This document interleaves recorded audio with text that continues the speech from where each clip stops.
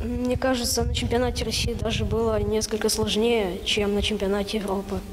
Потому что, ну, спортсмены из многих других стран, мне кажется, немного слабее.